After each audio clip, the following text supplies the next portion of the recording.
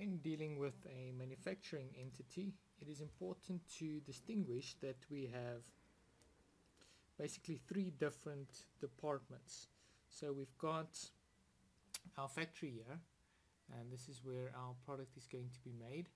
And then we've got our admin office, and this is basically where all our admin staff sits uh, behind the computers. You've got your IT staff, you've got your accountants, um, etc., your secretaries.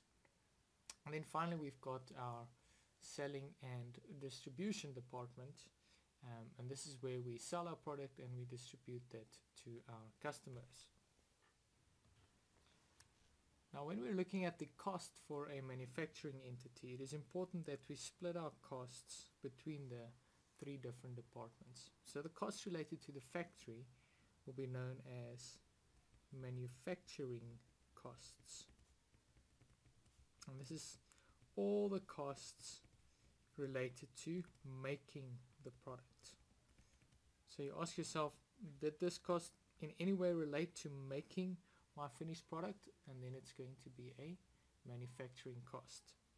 So let's just assume that we're making tables here. So there we go. There is my lovely table. So all the costs related to the factory is known as manufacturing cost. And then we've got our admin office and all the costs related to the admin office will be known as administration costs.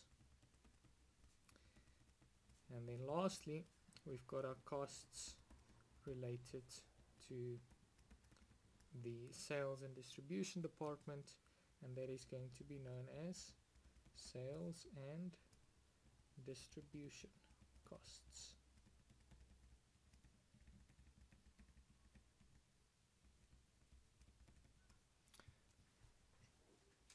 Now, before we look at specifically which costs fall within the factory and which ones fall within admin and which one fall with, falls within sales, the reason why it's important to know which costs go to the factory department is because it's the costs that end up in the factory department that eventually helps us to determine how much one finished product actually cost us.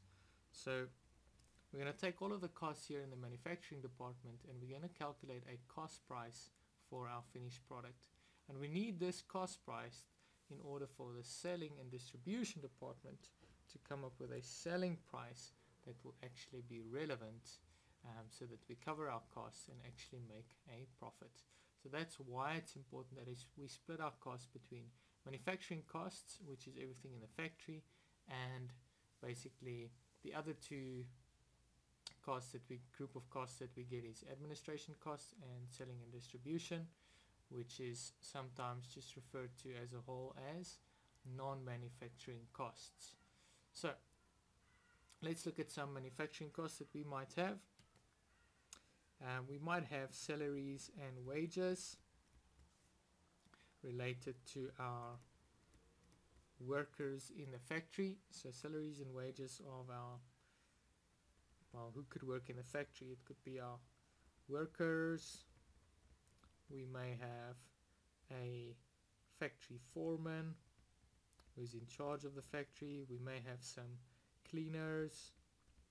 We may even have a security guard etc but alright there we go.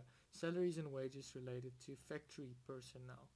Then we may also have depreciation. There may be some heavy machinery in the factory and we might have depreciation related to those machines. Depreciation of the machinery. Obviously we may not own this facility so we may have one big facility um, that has our factory admin offices and our sales little sales storeroom all on one premise premises. Um, or it could be separate premises but we may not own that, in which case we will have to pay rent for our factory and then there may be water and electricity costs on top of the rent, possibly, if it's not included in the rent price. And then finally, obviously a very important thing that needs to go into this factory for us to get a finished product is some kind of raw materials. so we're going to have some raw materials that actually goes into the factory and it comes out as a finished product which then eventually gets sold. Okay so that's just some costs that we might find in the factory. Obviously there's more but we're just trying to get an idea maintenance costs and insurance etc some of our admin costs that we might find is salaries and wages as well. But in this case we may have salaries related to the finance manager so I'm just to say finance manager or the IT manager or the HR manager or just the other clerks working in our admin office. Alright so again we have salaries and wages but this time it relates to our admin staff. Right.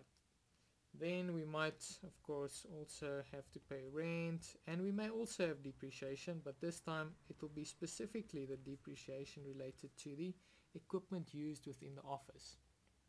Whereas here we had the depreciation related to the machinery used in the factory. Here we'll have the depreciation related to the computer equipment, the furniture, etc. Everything used in the office.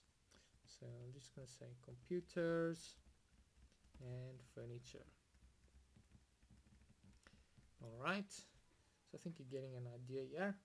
And again, we might have again water and electricity. And then finally our selling and distribution department. Here we may pay a sales commission to our sales agent. Um, we might have a salary depending on the structure that we're going for. We may have to pay some water and electricity for this little facility, our storeroom there. And we may again have to pay some rent. Alright, so there we go. That's just a brief summary of the different costs related to the different departments. Again, just to emphasize the reason why it's important that we split our costs between the three different departments is because, let me just get my mouse, my mouse here, is because the cost that goes into the factory is what eventually ends up in my uh, finished product. And we need to know how much costs goes into the finished product because we need to know the full cost price of our finished product before we can determine an accurate selling price.